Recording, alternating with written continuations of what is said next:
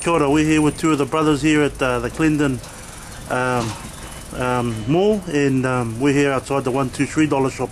And um, the two flags that we're looking at here we've got the 1835 United Tribes flag and the Tino Rangatira flag. Now um, there's a bit of bit of um, controversy here on television about the uh, which flag should go up on the on the, the harbour bridge. Now I've come here just to ask them what's their personal opinions. They've got these two flags here and uh, we'll let them uh, have a bit of a kōrero. So what's your thoughts brothers? Uh, kia ora, um, Central of Manipo.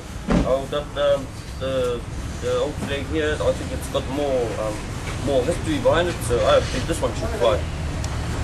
okay and any reason why? Um, yeah, well, because it's the original flag and, you know, every every kaupapa has, you know, you got your different um, representative flag. Yeah.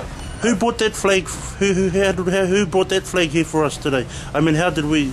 Was it was it bought by the English government or was that bought here by uh, that, Maori? That was choo- chosen by us Okay, way back in the day when King George was around. King William. King William. Yeah, sorry. yeah, he authorised today. Kapoi. And brother, what do you think about the flag? What flag you got there? I've got the new Maori flag. The Tino Rangatira flag. Yeah, Yeah.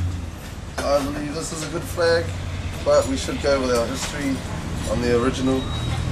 Okay. But do you like that flag? Does that look pretty powerful? The Tino Rangatira Yeah, flag? It's, it's bright, it's out there. It's got a staunch Maori looking It is- design. It is hard, but we should still go with our history Any reason why we should go with the history flag?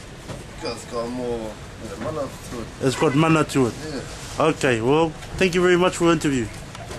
Kite. Ka kite.